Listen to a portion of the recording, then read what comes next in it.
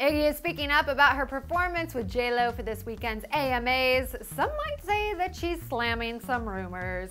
Hey, hey guys, so the American Music Awards are coming up this weekend. Get excited, people, and keep it here at Clevver for red carpet fashion coverage, highlights, winners, performance recaps, and more. We will have it all for you.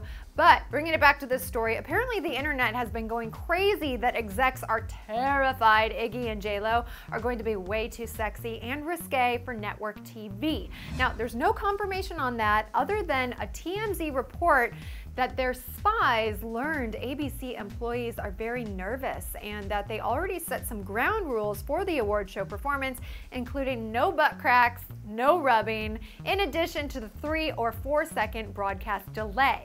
Anywho, Iggy is speaking up about the rumors, saying that she does not know what execs would be worried about, yet at least, since she and Jennifer haven't even had a rehearsal. Quote, we haven't been asked to make any changes and there are no plans to expose anyone's nipples or vagina. But okay, TMZ, if you say so. She was real quick to add that we should not expect to see the two female artists performing in turtleneck sweaters either. So much mystery. We love it.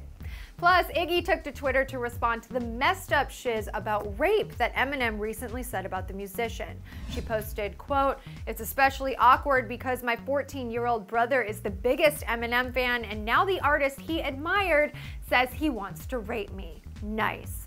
That's sarcasm there, and I've got nothing to say about that one. Just giving you guys an update.